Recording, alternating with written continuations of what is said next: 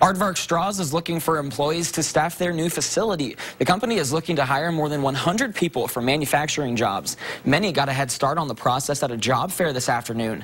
Back in August, Hoffmaster Group acquired Aardvark to capitalize the huge demand for eco-friendly paper straws. The relocation sets the company up to increase capacity by 700 percent. We're really looking for an overall good attitude, uh, people that want to show up and learn the job and um, show teamwork and do what they can to help out.